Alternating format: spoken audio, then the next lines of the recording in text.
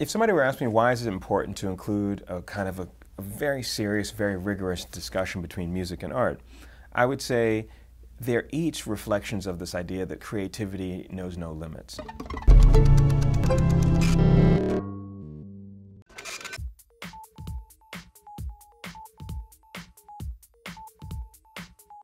So for my residency at the Met Museum, I wanted to kind of look at a dialogue between tools and what is what you know what someone might make as a tool, like an iPad app, versus a painting. You know, like let's draw a paradox there. When you talk about sampling, when you talk about collage, when you talk about people's record collections, I wanted to look at the Met Museum as a kind of a huge archive, a huge record collection, and to kind of think about the ways that we could engage it and the ways that we could actually think of history itself, because every record is a history. How do we uh, you know, kind of look at that as a, as a provocation for creativity. So we're calling it reframing the museum because the museum, to me, the most classic thing when you go into an old school museum is the frame of the painting. It's not about the experience of the museum as a social thing, but about the way that you move through the space. So a lot of museums are kind of mausoleums, so like they're, they're dead spaces.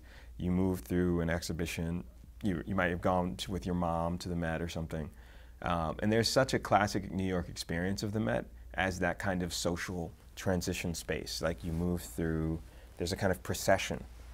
Now, with digital media, I wanted to try and think about looking at the Met from the viewpoint of the abstraction of the architecture, for example, and the way that conditions your experience, or the, the role of the paintings and the way that they're sequenced about history. There's going to be five projects at the Met Museum. One is a remix and rescore of a very famous film from East Asia called Madame Freedom. Um, it's the first film made after the Korean Civil War, and I'm really interested in art and geopolitics, by the way. I think that what's fascinating with this film, Madame Freedom, is that it looks at when women began to have more power in a Korean context. I thought that, that would be a nice way to show the transformation of Asia under the impact of technology and other things. It's a, considered a classic of Asian cinema. The other projects, there's five total. Uh, one is called Of Water and Ice. I went to the Arctic Circle near the North Pole and did a whole project there. That project's going to be a concert and again a kind of an abstract installation at the Met. There's other uh, projects between. One is with the Civil War, where I worked with the estate of again D.W. Griffith. He left his estate to Harvard and to MoMA. Long story, but I remixed the film. So what we're going to do is an update on that looking at the Civil War in the context of red state, blue state. I'm very blue state, um, and I'm very intrigued with how the history of, of racial politics has influenced elections, and of course Obama versus the Republicans. I'd rather remix the entire context of how people think about the whole thing. The final one is going to be a kind of listening party where I remix the museum using Wi-Fi networks and iPads, Google Android tablets, stuff like that, so that everyone who comes to the museum with a smartphone or a tablet will be able to interact with the objects in the museum in a way that triggers music. It's kind of an ambitious take. We'll see what happens because this is an experiment. It's, that's why we're calling it an artist residency rather than an installation or an exhibition. Residency implies living, being, exploring, checking it out. And I think that for the 21st century, this is something new. Nobody's done it before, so we'll see.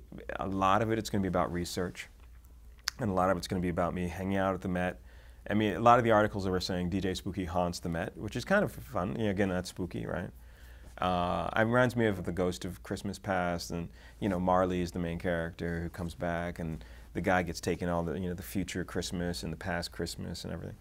Um, I kind of feel like that with the Met right now. It's like, um, you know, just it's very nonlinear. I'll leave it at that.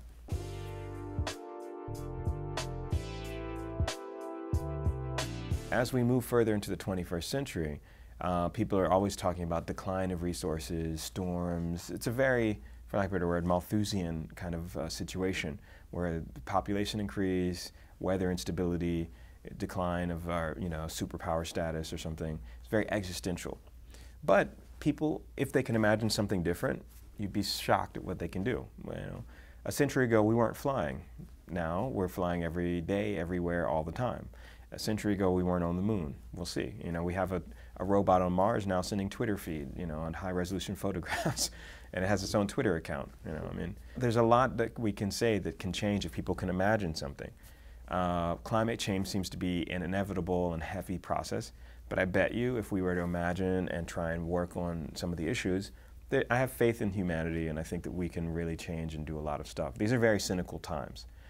Uh, so it's important to kind of keep that in mind that it's not permanent, and if people can imagine something different, just the ability and the actual act of imagining something different, saying another world is possible, that alone is a beginning of a whole process. I mean, I could point out so many other examples. So I use my art projects to kind of look at not only a subtle nuance between how people think of history, but to say, this is where sampling says all sorts of permutations are possible.